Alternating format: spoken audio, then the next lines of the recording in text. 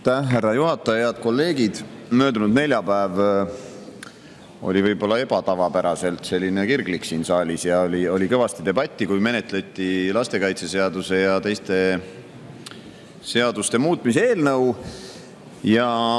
Tulenevalt sellest, et meie erakond oli tutvunud põhjalikult selles eelnõus olevate muutmisettepanekutega, selgus, et selle kõrval, mis koalitsioon teeb Eesti majanduse kägistamiseks ja ka perede turvatunde vähendamiseks, nüüd minnakse üsna otseselt juba ka laste kallale.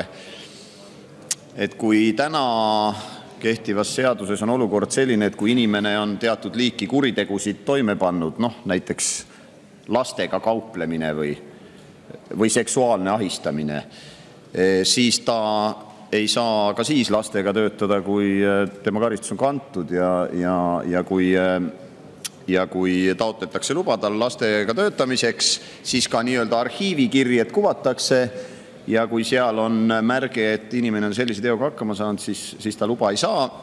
Nüüd oli soov seadust muuta selliselt, et Sotsiaalministeerium saab otsustada, et ta selle loa ikkagi võib saada. Sellega seoses me esitame arupärimise sotsiaalkaitseminister Signe Riisalole, et saada selgem vaade sellesse, kuidas see seaduseelnõu sündis, kes olid need inimesed, kes vastavad ettepanekud tegid. Ootame huviga vastuseid. Aitäh!